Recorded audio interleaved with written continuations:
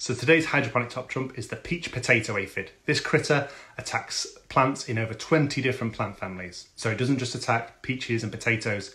If you're growing a hydroponic crop, the chances are this aphid will come and suck the phloem, the sugary sap out of your plants. Now, it won't form massive colonies and you might just have one or two aphids on your plants, but it transfers viruses. It's the number one virus vector for crops. So um, you need to control this aphid even if you've only got one or two. So let's look at the numbers and see how much of a problem it is. So for damage caused, this aphid is only a two. On its own, it causes very little damage. It's only if it transfers a virus to your crop that it becomes an issue. And we'll talk about viruses in another one of these uh, top trumps. Commonness, it's a five, it's everywhere. Um, you, chances are, you, you're going to let aphids in, this is going to be one of the species that's going to get into your crop.